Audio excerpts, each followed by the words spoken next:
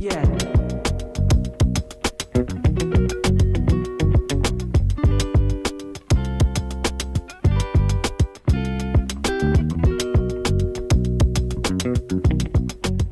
Hey guys, welcome back to my channel. Today I'm going to show you how to make this breakfast yogurt parfait that was really good. I had it for breakfast the other morning and I wanted to show you all how I make it.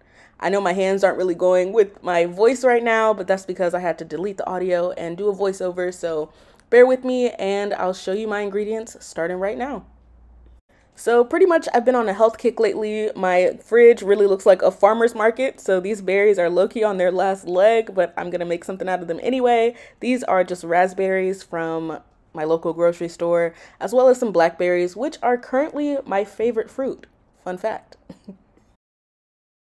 Next, I just have this plain Greek yogurt from Chobani. I either get Chobani yogurt or Stonyfield yogurt.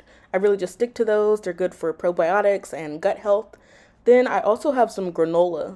This granola is actually cereal from a cereal box. I don't, maybe like Cascadian Farms. Um, but yeah, so I really like that as opposed to any other granola that I've tried so far. So now I'm just to go ahead and layer it in my little glass cup. Then we'll have a cute little healthy breakfast that is also great for on the go. Feel free to stack it up however you'd like. For me, I go ahead and put some Greek yogurt on the bottom. I follow it up with the granola, hit it with some berries, a little more Greek yogurt, and stack it up till our cup is nice and full. I also decorated the top with the raspberry, kind of just like a little cherry on top of our little ice cream swirl, which I thought was super cute. But from here, I'm just going to go ahead and let the music play, and I hope you all have a great rest of your day. See you in the next one. Yeah.